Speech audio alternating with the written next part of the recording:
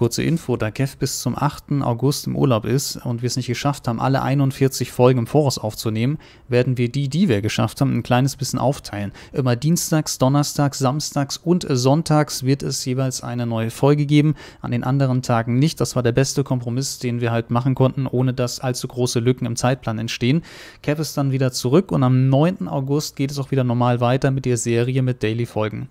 Hey und willkommen zur nächsten Folge von Forever Stranded zusammen mit dem Kev. Wir sind moin. immer noch dran und moin Kev an den äh, Seeds, die wir letztes Mal reingeschmissen haben. Ich kann mal kurz einen Progress zeigen. Ich glaube, da müssen wir ein bisschen anheben. Ihr wisst Bescheid, wir wechseln so mal ab mit den Folgen, deswegen checkt beide Kanäle ab. In der letzten Folge hat Kev sein dickes Schwert ausgepackt. Schaut es euch an. Und wir haben endlich eine Spawner-Maschine, das heißt, wir arbeiten gerade daran, unendlich Enderperlen zu bekommen, damit wir in Ender.io richtig geile Stromkabel machen können. Also ist wieder ein bisschen recht intensiv und teuer, hier die Spawner-Geschichten zu machen. Da kommt ein bisschen Ender-IO-Technik rein.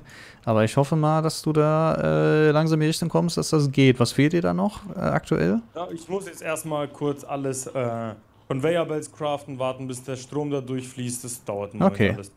So, in der Zwischenzeit kümmern wir uns von einer Sache, die dauert, zur nächsten Sache, die dauert. Denn ich bin ja immer noch dran, habe hier die Seeds rein. Ganz ehrlich, der Sand ist schon fünfmal despawned. Also ich habe wieder neun reingeschmissen. Und wir gucken jetzt mal, wie sieht es aus bei den Prozenten von den Seeds. Wie weit sind die denn? Ich habe ja hier Nether Quartz Seeds, Certus Quartz Seeds reingeschmissen. Wir sind auf 9%, Leute. Wisst ihr, was das heißt? In 10 Folgen ist es endlich soweit, dass die Kristalle fertig sind. Nein, Spaß. Äh, das, äh, also wenn wir das... Wenn wir das so weitermachen, wären das jetzt zehn Folgen, aber das war jetzt ungefähr. Also, ich habe ja Hälfte bei meiner Folge, so, fünf, dann kennst du so 45 Minuten oder so, lagen die jetzt da drin und die sind auf 9%. Bro. Krass. Ich glaube, da äh, sollten wir mal äh, gucken, ob wir den Creative. Nein, machen wir nicht. Äh, ich, ich hätte noch eine Idee. Vielleicht können wir doch die Growth Accelerator uns reinziehen. Das dachte ich wäre die heutige Aufgabe, dass wir hier einerseits den Kristallwachstum beschleunigen und zwar sowas von gestört beschleunigen, dass wir da gut reinkommen. So, und wir brauchen diese Growth Accelerator. Weißt du, was dann gut wäre in dem äh, Aspekt? Ja. Dass du auch noch, du hast ja bestimmt Ender Stromkabel. Ich habe auch welche gekriegt, Ender Stromkabel durch einen Quest Claim. Und dann einfach einen zweiten Energy Output machst von ja. dem äh, würde, würde, gehen. Ich, ich, ich kann einfach den direkt äh, daneben bauen. Ich muss die Wasserquelle ja nicht hier liegen haben. Die habe ich jetzt nur spontan dahin gemacht. Ich kann die auch hin. Dass, dass, wir das alles so lassen können. Du machst hier einen zweiten Energy Output für den Reaktor. Ja, einfach, einfach hinten raus. Den Growth Accelerator, damit. Ich, ich, ich, verlege das alles nach da hinten, das ist kein Problem. Ich würde nur zusehen, dass ich mal ganz schnell erst gecraftet kriege. Oh. Und zwar äh, brauchen wir jetzt noch ME Glass Cable. Dafür brauchen wir Quartz Fiber und da habe ich auch schon wieder ein kleines bisschen was vorbereitet, nämlich Glas habe ich hier drin. Aber nicht nur das, damit wir, ich werde jetzt nicht das teuer machen, sondern ich werde die günstige Variante davon machen. Wir werden einfach die Certus Quarzkristalle hier äh, durchschreddern. Oh, die Segment muss ich rein, einmal durchschreddern. Und daraus machen wir dann das Glas. So, kann ich mal ganz kurz hier gucken. Drei Stück plus Glas ergeben dann hier diese Quartzfiber-Ding habe ich drei Stück rausgekriegt. Ja, das geht ruckzuck. Oh, wir haben noch die Growth Crystals von Tiny Progression, dass man Farmen upgraden kann. Haben wir hier Mystical Agriculture drin? Da kannst du hier die, die, die Crops generell erhöhen. Du brauchst eine Seelaterne, dann wachsen die viel schneller. Ja, die haben wir, aber ich bin mir auch nicht sicher. So, dann gehen wir hier rein. Den, den, den. Und dann machen wir hier die, mit Fluix Crystals wieder die Glass Cable. Ich glaube, ich brauche... Es geht oh, los! Oh, der Rude Sandstorm geht schon wieder los. Den können wir echt nicht skippen, oder? Das, nee, nee es, das ist unmöglich. Es gab doch so eine Wettermaschine mal. Hattest du eigentlich noch äh, Rubber oder irgendwie Sticky Resin? Guck mal vorne in den äh, Kisten drin, auf der Vorderseite. Da könnte noch was drin sein. Aber hey, wird mal wieder Zeit, dass ich hier äh, ein bisschen Sand kriege. Mir hat schon der ganze Sand in der Wüste gefehlt. Also jetzt ernsthaft, Sand ist nicht verkehrt. Und tut mir leid, Leute, die Schaufel kann ich nicht nehmen, die ist bei mir dauerhaft kaputt. Das ist eine Obsidian-Schaufel, die hat 100 Haltbarkeit. Und ich muss äh, jedes Mal, wenn ich einen Stack Sand abbaue und die, mir die neu reparieren. Das ist absolut furchtbar. Ich bin gerade voll im Hype von Sandstone. okay, dann das kann hier wieder rein. Hier wird jetzt alles, alles geht jetzt hier voll. Alles. So, dann haben wir die da war es schon wieder. Aber ich finde es cool, dass das bei uns immer im gleichzeitigen Timing ist. Also wenn du das hast, dann habe ich es auch ein andersrum. Jetzt brauche ich noch vier Eisen und dann haben wir eigentlich alles für unseren, ach du Heilige, wird alles zugemacht, für unseren äh, ersten Growth Accelerator. Und die Frage ist jetzt noch folgende, ich bin mir nicht ganz sicher, aber ich glaube, der Growth Accelerator, der braucht keine F-Strom, sondern Applied Energistics Energie. Genau.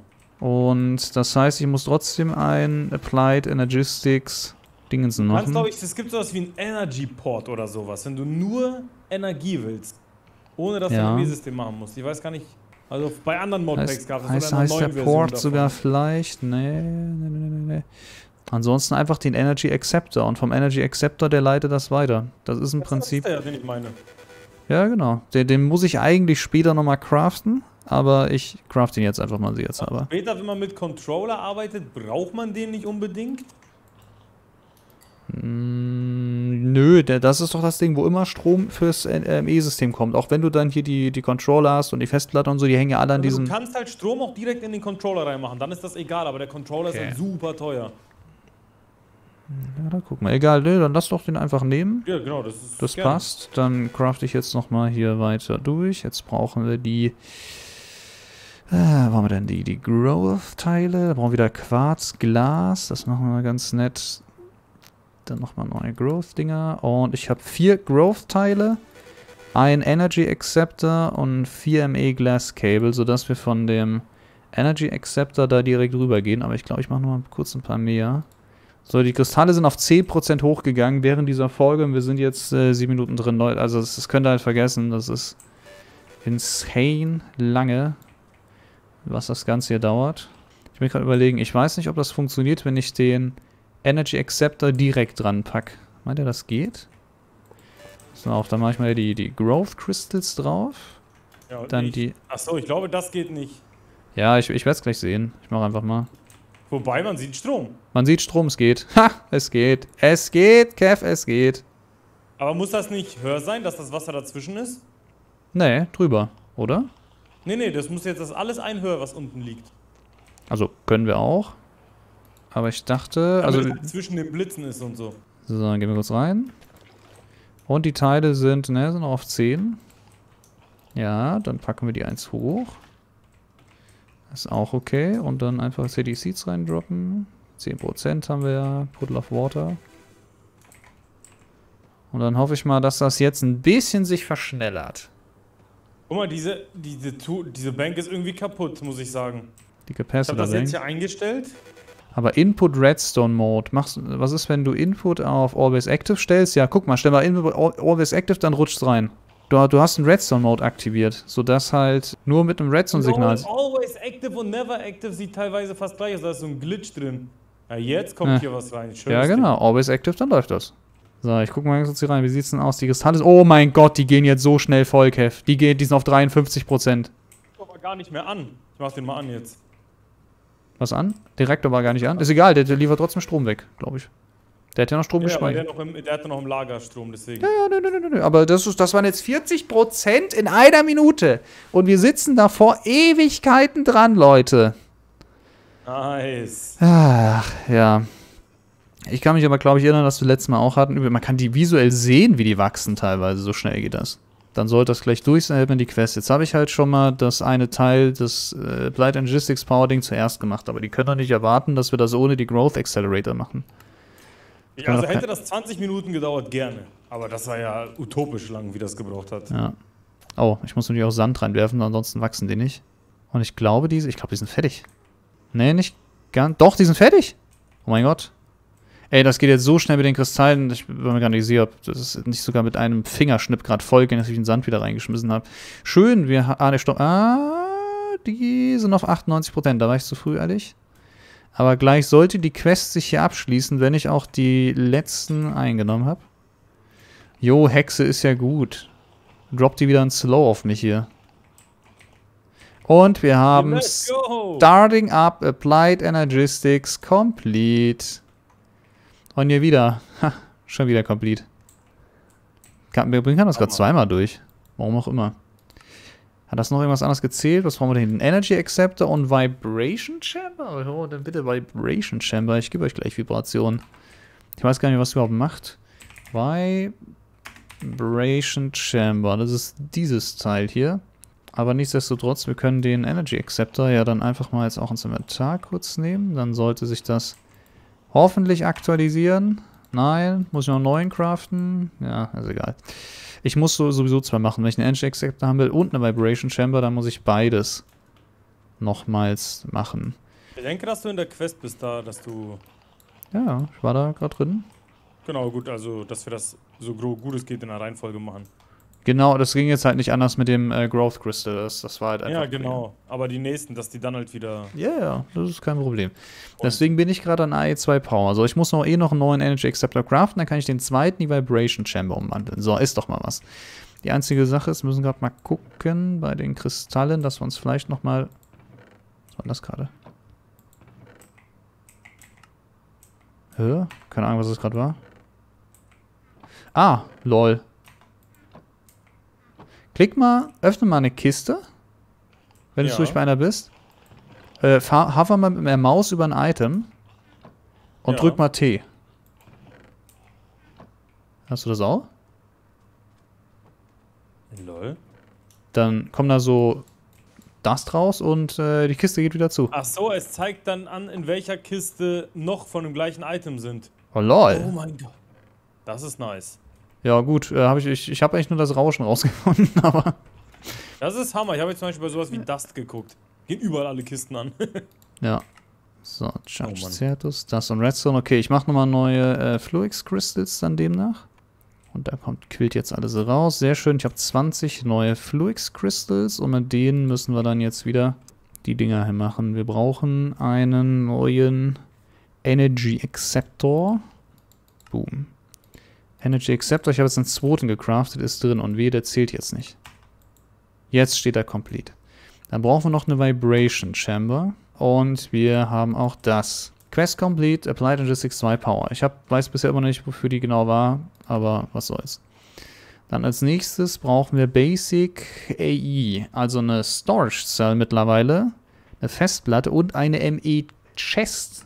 Ist überhaupt so geil? Da brauchen wir wieder massig Zeug. Fluix Crystals Eisen. Glass Cable, das ist easy. Glas ist auch einfach. Und ein ME Terminal. Ja, jetzt geht's Richtung ME Terminal. Und im ME Terminal, da brauchen wir, das ist jetzt das Hauptding, diese beiden Cores und Logic Process. Ach, die guten alten Sachen einfach. Ist schon eine Weile her, dass wir das hatten. Oh, ich weiß, da braucht man nicht diese Presses und hat, konnte man das nicht damals automatisieren hm, auch noch? Die Inscriber und sowas, ne? Ach du Kack. Die Inscriber muss man finden oder kann man die craften? Ohne Inscriber ich glaube, Ich glaube, finden tust du die ja nicht. Ähm, oder? Äh, ich schau mal, ich schau mal vielleicht. Da werden wir jetzt wahrscheinlich gleich drauf kommen. So, erstmal ein Illumination Pattern. Manchmal so ein Crafting Terminal. Der Dude, der alte Crafting Terminal. Wir brauchen so einen Logic Processor. Ja, also Inscriber ist auf jeden Fall eine Maschine, die wir brauchen, weiterzukommen. Und hier brauchen wir nochmal Fluix, das ist auch Logic Processor dafür. Ja. Und hier brauchen wir ebenfalls dasselbe. Ja. Wir müssen ein Inscriber machen. Und wir könnten aber auch die Logic Circuits mit äh, Industrial Craft Circuits herstellen, so wie es aussieht. Oder halt mit der Logic Press. So, und diese Press ist jetzt die andere Frage. Wo kriegen wir die her? äh, ich bin am überlegen, da vielleicht sogar mal zu googeln, weil äh, hier steht nicht, wie man an diese. Normalerweise findet man die in Meteoriten, wenn sie gefallen sind, aber genau. in dieser Welt haben wir keine Meteoriten. Die haben wir nicht mehr. Jetzt wissen die Leute, ach, das habt ihr doch schon vor fünf Jahren gemacht. Ja, wow. Ich weiß auch nicht mal, was ich gestern gefrühstückt habe. Woher soll ich wissen, wie ich vor fünf Jahren die Inscriber gefunden habe?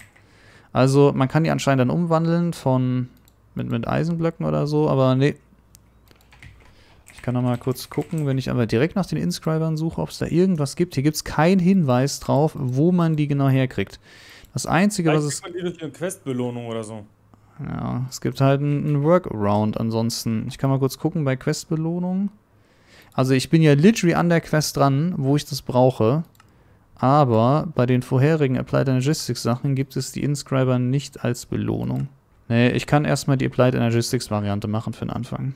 Also das ist ein bisschen teurer, aber funktioniert halt. Mit Insulated Copper Cable, die Eisenplatten in der Mitte und Redstone. Du hast ja gesagt, es gibt eine einfache Möglichkeit, an Rubber zu kommen. Mit Rotten Flash, hast du gesagt? Also nicht an Rubber, an Leder. An, an Leder, ah, okay, ja, ja gut. Nee, dann, dann Rubber. ist auch nochmal so eine Sache. Sticky Resin, aber da können wir den Tree Tabs vorne dran. Da muss ich da leider händisch ran. Dann machen wir ein paar von den Teilen. Also wenn wir das heute hinkriegen und wir den Inscriber äh, erstmal, nee, händisch Wozu einpacken. brauchen wir eigentlich die Player-Kills bei dem bei den Endermännern? Eigentlich wurscht, oder? Player Kills bei Endermännern. Mm, Ähm, droppen die sonst? Nö, auch. Enderperlen droppen die so oder so. Ansonsten weiß ich nicht. Ne, brauchst du nicht unbedingt. Da muss ich mir doch gar nicht, weil Diamanten können wir halt gar nicht machen. Das ist mir jetzt erst wieder aufgefallen. Vielleicht droppen die irgendwas Spezielles noch oder so. Außer halt Enderperlen hier, aber. Ah, du hast das Rubber auch schon geerntet. Ja, okay. Hm. Äh, was brauchst du denn? Leder oder Rubber oder egal? Ich brauche die äh, Rubber. Ich brauche die Circuit-Teile von Industrial Craft mit diesen Kupferkabeln, isolierte. So. Na, da habe ich. Da ist kein Rubber mehr da, ne. Dann hat sich das soeben erledigt. Leute, ich würde mal einen ganz kurzen Blick werfen, ähm, wie wir an die Inscriber kommen, weil ansonsten, ich glaube, das ist wieder so eine Ultra-Rätselaufgabe. Da hat die uns bestimmt letztes Jahr auch geholfen. Im Game steht es nicht drin. Sekunde. So, Leute, äh, alle Fragen werden beantwortet. Wir müssen die doch suchen. Die kann man nicht herstellen. Das ist ausschließlich auffindbar hier in der Gegend, aber ich hätte jetzt nicht gedacht, dass das meteormäßig hier reinknallt. Ist aber so. Leute, es gibt etwas, was wir uns herstellen können, was uns hilft, das zu finden. Und das ist ein sogenannter Meteorit-Kompass. Und da braucht man dann nochmal ein Charge, gut, dass ich da nicht alle umgewandelt habe, ein Charge Certus Quarz plus Eisen außenrum. Ich mache dir einfach auch mal direkt einen mit, Schön? für den Fall des Falles. Nein. Blood Moon, sehr gut. Ey, Kev, let's go. Erkundungstour. Wir holen uns jetzt einen Meteoriten. Ist doch klar. Genau jetzt, wenn der Blutmund aufsteigt. Ja. Hast du, warte, hast du Blatt, Bl- Blutmond oder Blutmond gesagt? Ja, Blatt und Mond gesagt. Okay. Die Mischung, die gar nicht geht. Ja, ähm, Leute, das ist perfekt. So, ey, lass mal eine Erkundungstour machen. Und ey, nein. Ich wurde selten so hart denied, Leute. Okay. Bin noch nicht müde genug, um zu schlafen. Können wir noch irgendwas, äh, eine Kleinigkeit machen oder so? Ja, toll. Also, was soll ich denn jetzt machen, Kev? Das kannst du Wir vergessen. gehen auf geh auf die Erkundungstour, ne? Let's go. Hier, ich droppe dir mal ganz kurz hier den, den Kompass hin. Oh, übrigens, ähm, ich glaube, ich wollte dir noch was zeigen. Warte ganz kurz. Hier? Ja. Lass mich nur kurz mein Crafting beenden. Dann ja, hier sind schon wieder viele Mobs unterwegs. Ich wollte dir zeigen und beweisen, dass ich zaubern kann. Oh, jetzt kommt's. Komm, komm, Irgendwas, was ich nicht kenne. komm, komm, Oh, rüber, komm rüber zu mir und äh, ins Schiff rein. Hier bist du am sichersten. Ja, ich will, ich will, ich will, aber ich brauche. Die es sind gar nicht viele Mobs hier unterwegs. Mach schnell die Tür zu. Genau, die Tür kann ich auch zumachen. So, dann. Ähm, Was zu essen, dann bin ich bei dir. ja. So. Okay, Kev. Du, kannst weißt doch, du weißt doch, wie das in Hogwarts funktioniert, oder?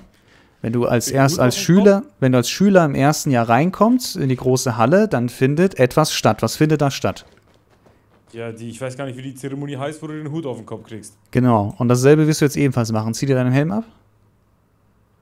Oh, der ist fast kaputt, das trifft sich gut. Ja, genau. Und jetzt nimmst du den sprechenden Hut und setzt ihn auf. Okay. Und jetzt läufst du bitte einmal ums Schiff. Das ist so eine Verarsche. Das ist so eine Verarsche. Ich weiß nicht, was du jetzt machst, aber du nutzt ganz eindeutig die Zeit, in der ich ums Schiff laufe. Nein, nein, nein, nein. Das hätte, schon gereicht. Ich Okay. muss aber einmal komplett ums Schiff laufen. Dann wäre passt. Also, wenn alles Ich klappt. bin, ich bin, nur, ich bin einmal rumgelaufen, hallo. Genau, dann darfst du wieder abziehen. Okay. Anscheinend funktioniert die Magie bei mir anders als bei dir, weil ich glaube, das war der Grund, weshalb ich gekickt wurde vorhin, als weil ich einen Hut aufgesetzt habe. Aber du wurdest gerade nicht gekickt. Schade. Wow! Wow, er wollte mich auch hier einfach kicken, okay. Ja, Entschuldigung, ich dachte, also ich glaube, das lag vorhin dran an diesem Widget. Ich meine auch irgendwann mal, irgendwas hat geklingelt, dass das ein Bug ist oder so, aber also, also mich hat es vorhin rausgekickt, als ich den angezogen hatte, deswegen. Ja, Es wird Zeit, den Meteoriten zu suchen. Ich bin schon unterwegs. Äh, das ist sehr gut. Ich mache, ich hätte, ich, willst du mich jetzt oh, bei Bloodmoon dran los? vorbei, oder? Nee. Okay, okay, das war Bloodmoon. Der war Blood, Bloodmoon los. Äh, ich würde ganz kurz was zu essen holen. Ich hatte eigentlich gedacht, dass was irgendwie... Ah ja, dieser Blutmond, ich komme nicht drauf klar. Pass auf. Dann, äh, der Kompass zeigt, äh, hast du geguckt, in welche Richtung du musst mit dem? Wichtig ist, du musst, genau, du musst den Kompass mh, auswählen. Also in, in der Task, äh, in der äh, Aktionsleiste zeigt er dir nicht den richtigen Ja, ja. Weg an. Du kannst aber die Offhand machen. Und dann kannst du nebenbei die Slimesling nutzen. Ja, dann heißt das, wir gehen ein bisschen hier lang. Ja, das ist gut weit weg. Ja, man sollte auch gut weg. Ich weiß nicht, 2000 Blöcke oder so? Oh! Oh mein Gott, Server-Lag und 1000 Mobs sind gespawnt.